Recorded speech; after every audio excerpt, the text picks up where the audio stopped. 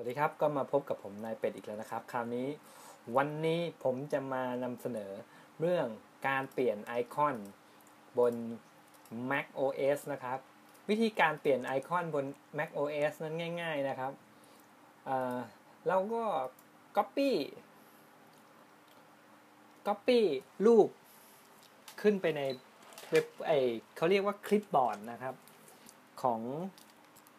ของตัว Mac OS ก่อน แล้วเราก็แปะมันลงไปในอินโฟนะครับ วิธีการทำเดี๋ยวผมทำให้ดูเลยนะครับ กดผิดเว้ย เดี๋ยวนะ YouTube โลโก้หา YouTube โลโก้แล้วกันนะครับ คราวนี้ทำไมมันไม่ไปวะอ้อมาแล้วตันตันตันผมอยากได้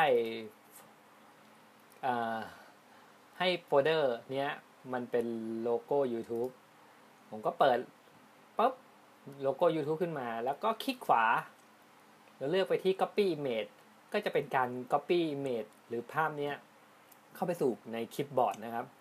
พอมันเข้าไปในใน clipboard เรียบร้อยแล้วเราก็เลือกคลิกขวาที่โฟลเดอร์นะครับ หรือว่าโปรแกรม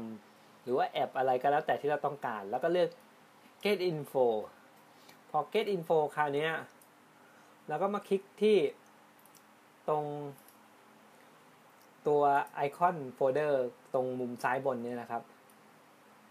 อันนี้นะครับ ไอคอนมุมซ้ายบนเนี่ยครับ คลิกให้มันตอนแรกนะ ถ้าเราไม่คลิกมันจะมันจะไม่มีขอบเงาอะไรอย่างนี้ใช่ไหมแต่พอเราคลิกปุ๊บมันจะมีเงาขึ้นเห็นนะครับ ให้มันมีเงาขึ้นอย่างนี้ก่อนนะครับ แล้วเราก็ก็กด แปะครับ Ctrl V ปาบเท่านั้นแหละครับ มันก็จะเปลี่ยน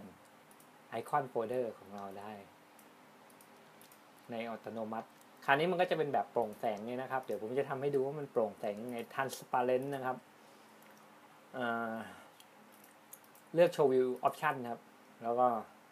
คราวนี้มาดู อันนี้ผมจะทำให้ดูว่ามันโปร่งแสงยังไงนะครับ ผมก็เลือกที่ไม่เรียง ไม่เรียงไอคอนบนเดสก์ท็อปเห็นไหมครับว่าตรงไอคอนโฟลเดอร์ im เนี่ย มันโปร่งแสง พอผมย้ายไปตรงไหนมันก็ตัว e เนี่ยมันก็จะทะลุ เคล็ดลับก็คือให้เราทำเป็น transparent ในโปรแกรมอย่างเช่น Photoshop หรือว่า Pixelmator แล้วก็ export มันออกมาเป็น png นะครับ ให้เลือก transparent ด้วย วิธีก็ไปศึกษากันเอาเองนะครับ เพราะผมจะชิงจบแล้ว โอเคครับ